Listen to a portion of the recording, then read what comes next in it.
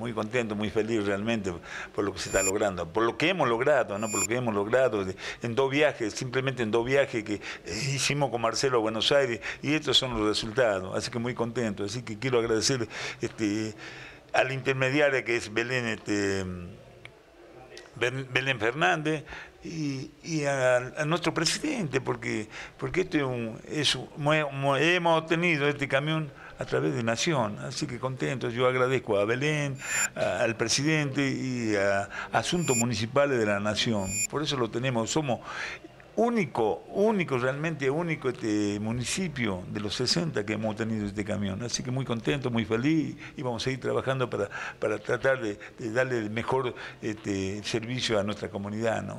El hecho de decir seguir trabajando implica que, si bien este camión es una importante concreción y adquisición, pero eh, todavía falta como para poder suplir las necesidades de toda la comunidad.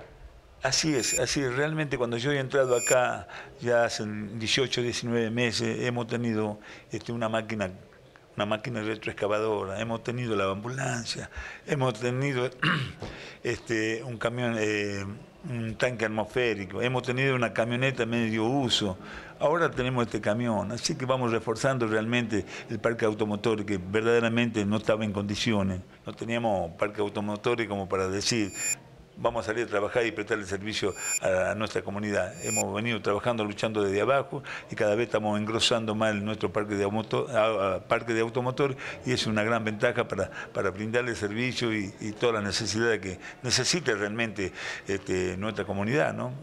Y además de las obras que se siguen concretando, el tema de la terminal y algunas otras que están por justamente concretarse. Gracias a Dios, estamos trabajando a conciencia y bueno, yo agradezco al personal municipal que me está colaborando y a toda la comunidad, lógicamente, hemos, hemos realizado este, una glorieta.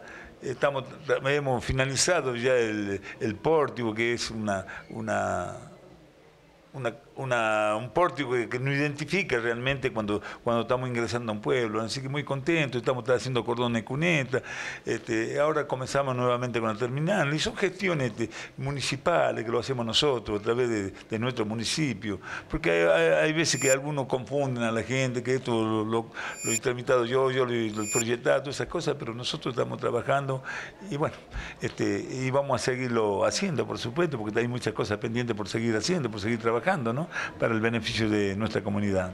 Y en medio de todas estas obligaciones y trabajos, se, hacerse un tiempo para festejar, digo, para festejar a los más pequeños. Así es, así es. Vamos a festejar juntamente con los pequeños. Yo no soy pequeño, pero voy a compartir con ellos porque realmente se lo merecen los chicos. Así que mañana están todos, todos, todos invitados al complejo municipal a partir de, 15, 16 horas que vamos a tener juguetitos, vamos a tener peloteros, vamos a tener sorteos. Y bueno, lo vamos a pasar bien. Por eso quiero que realmente todos los chicos de nuestro pueblo que concurran mañana al, complejo municipal, ¿no?